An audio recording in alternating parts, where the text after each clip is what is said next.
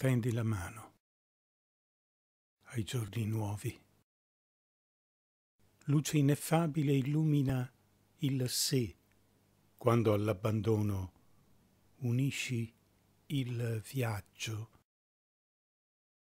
Non percorrere il mondo dunque senza l'adeguata leggerezza. Lascia ogni cosa che ogni cosa trasforma è tutto lì, ma nulla occorre.